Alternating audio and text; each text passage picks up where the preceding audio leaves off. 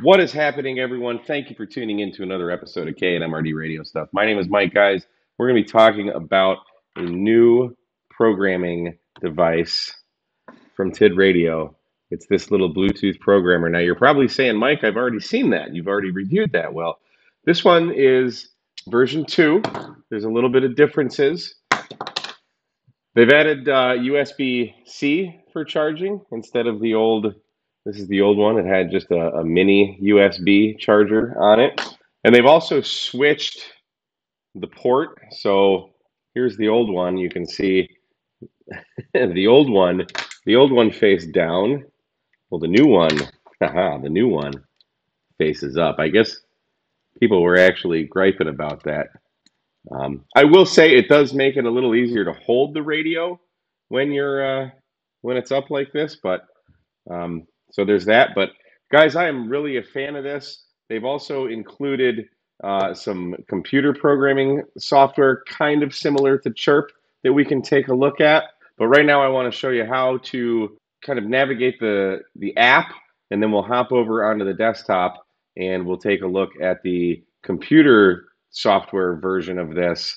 It's a web-based program that basically you can program all of your frequencies in, save it, it automatically goes to your uh, OD master on your your phone, your app, and then you just hit send or write rather, and it writes to your computer. So let's take a look at how this thing works.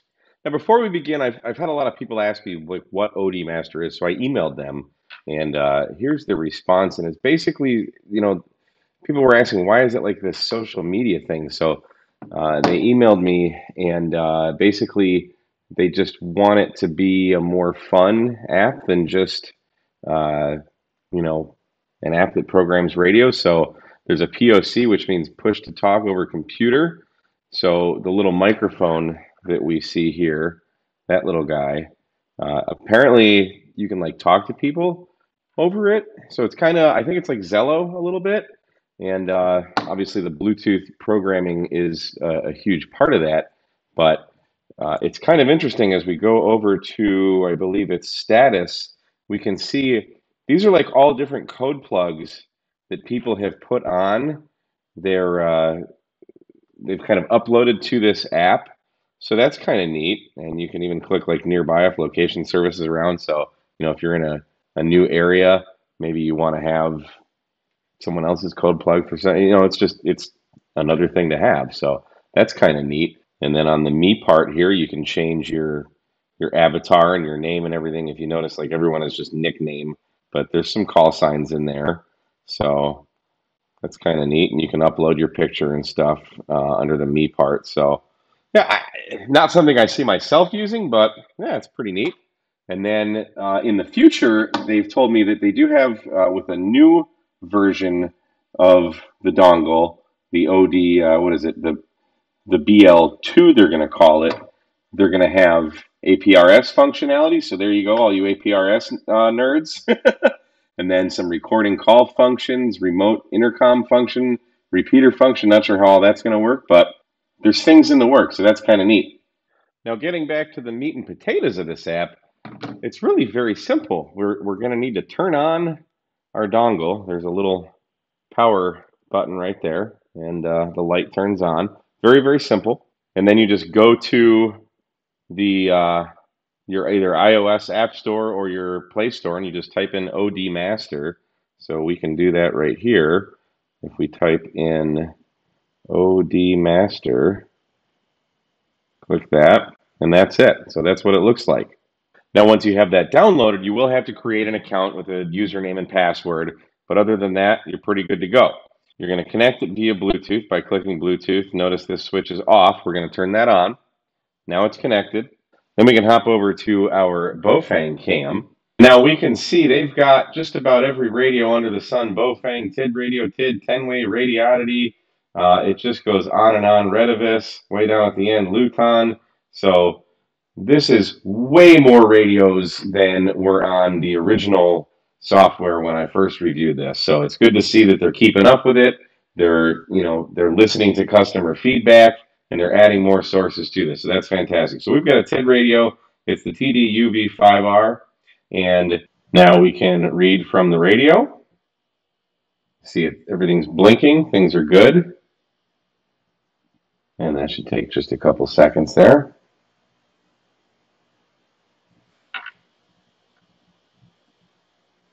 And there we are. So it already read what I had programmed on the radio. But the great thing about this, you can read this from another radio, clone it, and send it on over to this radio, which is really cool. Or all your other Baofeng radios or whatever.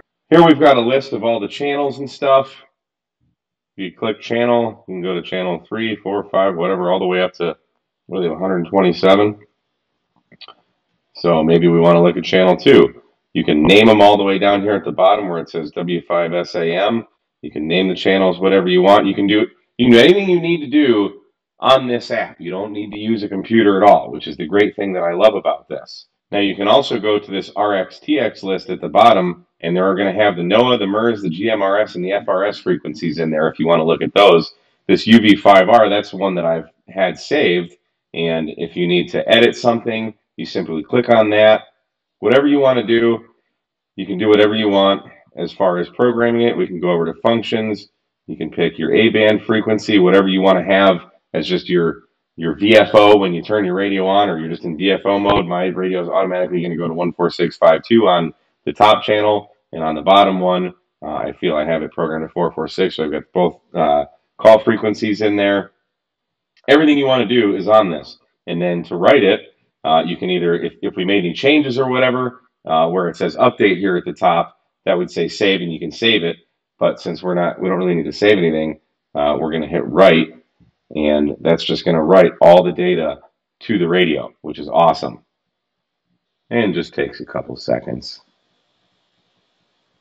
And it's done. The radio reboots, and you've got all of the program channels that you have, all the settings that you want are now programmed in without ever touching a computer. But for those of you that want to use a computer, they figured out a way to do that. So let's hop on over and take a look at that. And you're simply going to navigate to web.odmaster.net.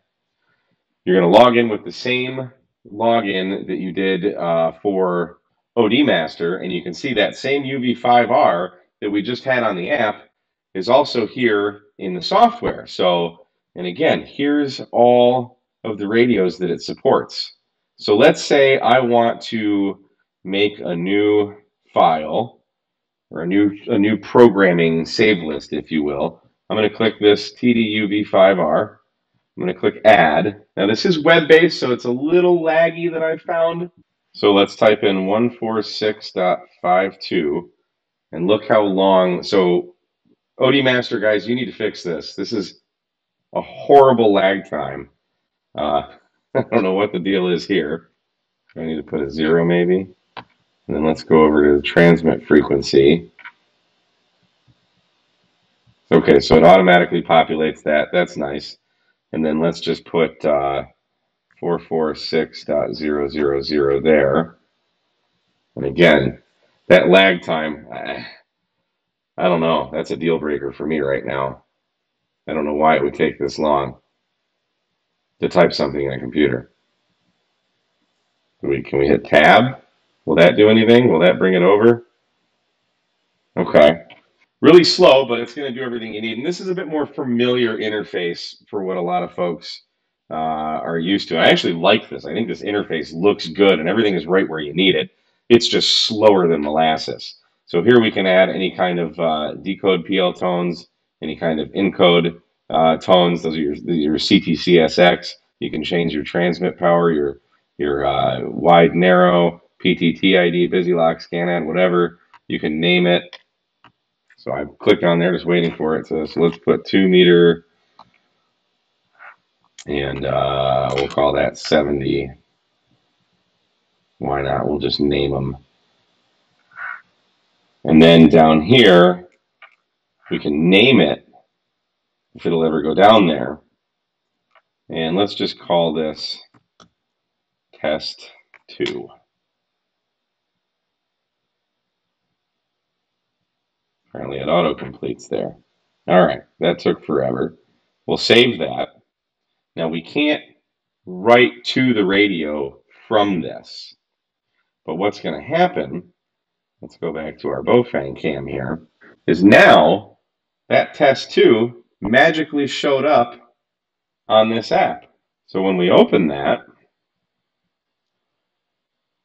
there's our 14652. And on channel 1, there's our 446. Uh, the name down there, 70. And let's go back to uh, channel 0. I called that 2M. So now we can just write this. It's writing to the radio. You see it right here.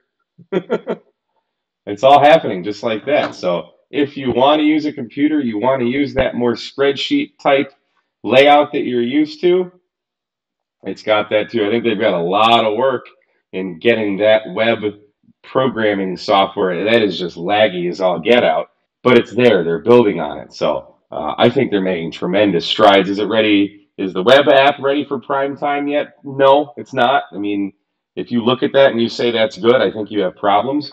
These are things that you can bring with you when you're traveling. I travel a lot, and it's so easy to just have this little dongle in my phone and program things on the fly. You open up Repeater Book, you program the channels in there, and you're done. So it's a no-brainer. It, it, it's a no-brainer to me. So that's a look at the updated version of the TID Radio BL1 Bluetooth programming dongle. I'll leave a link for this in Amazon in the description below if you want to pick one up. If you have any questions, please do leave them in the comments. I love to read them, and sometimes I even respond to them. And if you haven't already, please go ahead and hit the thumbs up button and also subscribe. Until then, we will see you again on another episode of K8MRD Radio Stuff. 73, guys.